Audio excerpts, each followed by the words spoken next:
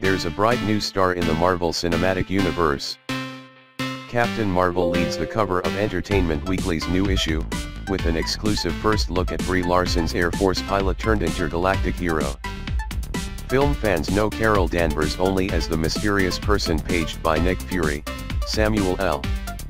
Jackson, in the last scene of Avengers. Infinity War, and she'll appear in the still untitled Avengers 4, presumably to help beat up on Thanos.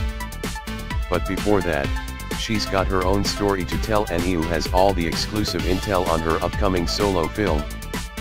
When Captain Marvel hits theaters March 8, 2019, it'll be the 21st entry in the MCU and the first to star a solo female superhero. In the past decade, the MCU has assembled a diverse lineup of female heroes, from witches and warriors to widows and wasps. But never before has a woman headlined her own story until Captain Marvel, the part Kree, part human pilot who made her comics debut back in 1968. She can't help but be herself, Larson tells you.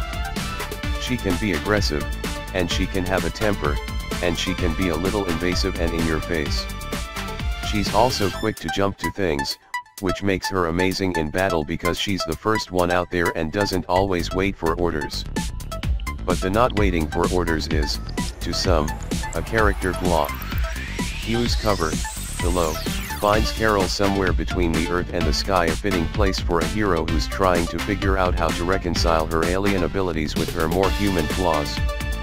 Directed by Anna Boden and Ryan Fleck, Captain Marvel sidesteps the traditional origin story template, and when it begins, Carol already has her powers. She's left her earthly life behind to join an elite Kree military team called Star Force, led by Jude Law's enigmatic commander. But before long, Carol finds herself back on Earth with new questions about her past. And she's got a formidable enemy in the form of the Skrulls the notorious Marvel Bat is made all the more dangerous by their shape-shifting abilities. Ben Mendelsohn plays their leader Talos, who spearheads a Skrull invasion of Earth. Speaking of Earth, Captain Marvel takes place in the mid-90s, long before Steve Rogers was defrosted or Tony Stark built his first suit.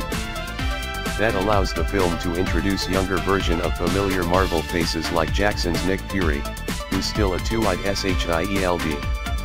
Desk jockey as well as let Carol carve out her own, unique space in the MCU.